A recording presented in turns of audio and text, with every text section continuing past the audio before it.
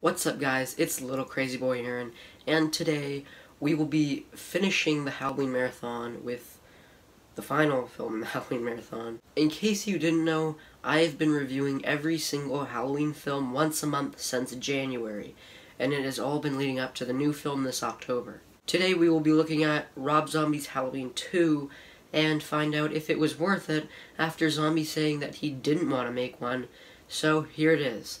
Rob Zombie's Halloween 2. The film starts off after the end of the last film, Laurie's being taken to the hospital because of her injuries, and we actually get a pretty good sequence here with Michael chasing Laurie through the hospital and outside and stuff like that.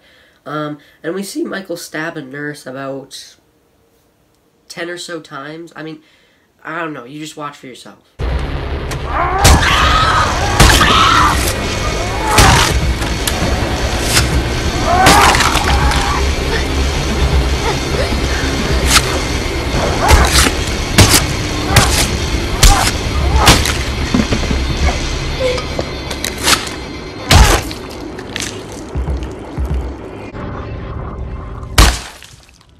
After that, we find out that the whole opening sequence was just Laurie's dream.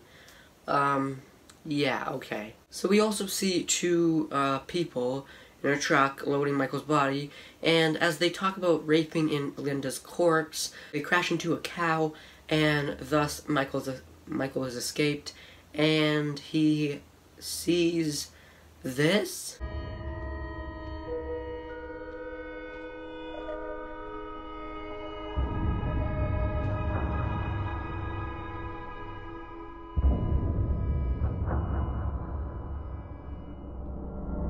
What is even happening? I mean, okay, Michael sees this a ghost of his mom and this white horse throughout uh, the majority of the film, and it kind of like acts as like it kind of leads him throughout the film. It's incredibly confusing. So the film takes place a year or two years if you're watching the director's cut after the last film.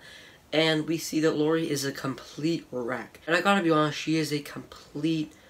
She's just completely obnoxious throughout the entire film. Now don't get me wrong, I understand why she's like this, but it still doesn't explain why she's a complete bitch to Annie. I mean, the Bracketts took her in when she had nowhere to go, and she's just, she's just so mean to Annie, and, and just, it makes her completely unlikable. Also, if you hated Dr. Loomis in the last film, prepare to hate him even more, because he's a media whore now. All he cares about is just selling his book and he just gets famous off of the whole Michael Myers thing.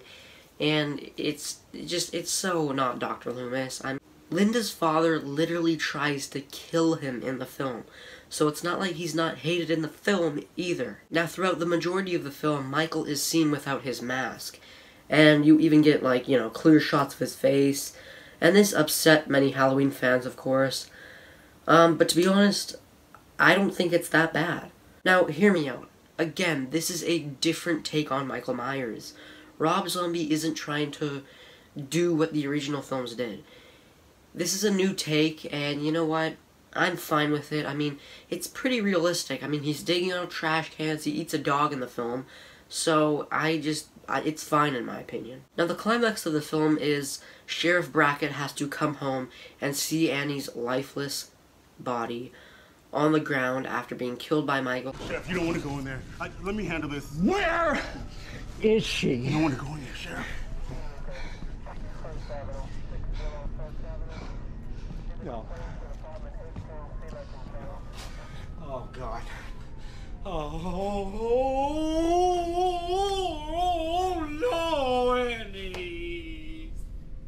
Hey, God, no. God, please. Oh, God. No! No!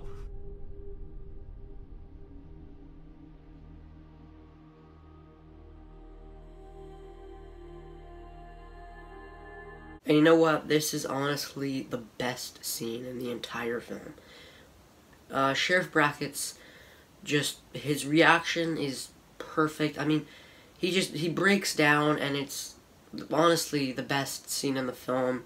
Um, it's sad and it's it's done really well. Final showdown, Michael is you know, with Laurie in an old shack, and the police are surrounding it, and, you know, apparently Loomis comes in there, and she's being held down by young Michael's ghost.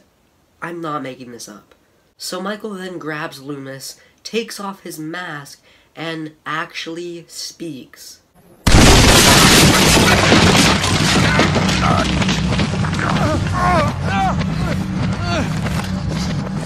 Michael, for God in heaven. Uh, okay, maybe I would have been fine with him speaking if he said something different, but after 15 years, the first thing that you say is die? That is really dumb. So after Michael is then gunned down by police and Laurie ends up in a mental institution, um, and she sees her mom's ghost with the white horse walking down the hall, and it's like, it ends, it, that's how the movie ends, and it's incredibly confusing. I mean, I don't know, I, I think it's supposed to set up Laurie as the killer, but it, I don't know, I think just think it's a pretty dumb ending. Just a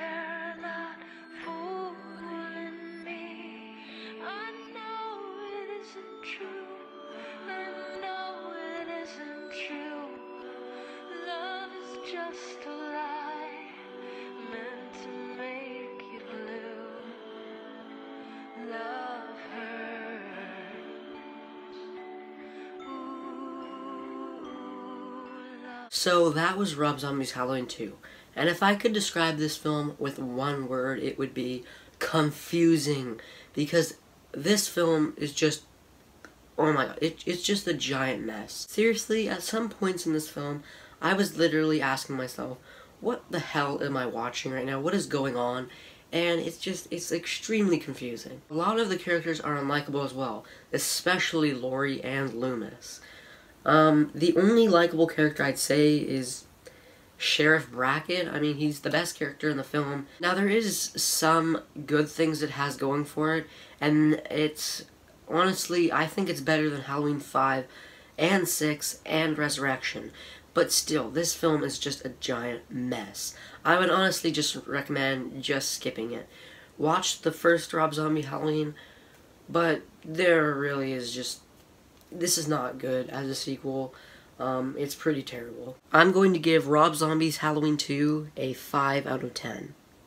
So those were my thoughts on Rob Zombie's Halloween 2, and we are finally done the Halloween marathon. Um, technically, we still have one more film to go because of the new film, but I don't really like to count, count that as part of the marathon just because that's what we've been leading up to. I am pretty excited for the film, but, you know, it's not like it's one of my most anticipated films of this year. I mean, I still say the original Halloween is self-contained and should have no sequels, but, you know, whatever. Hopefully the film does surprise me, and, you know, hopefully it's the best out of the entire franchise, other than the original. Anyway, guys, I hope you enjoyed this entire Halloween marathon.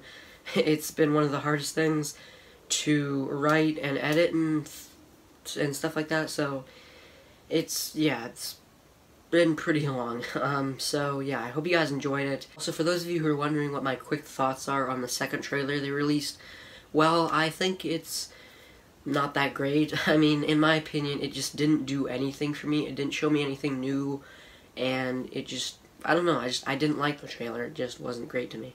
So that's about it. Um, stay tuned for my Halloween review, and I will see you guys in the next video.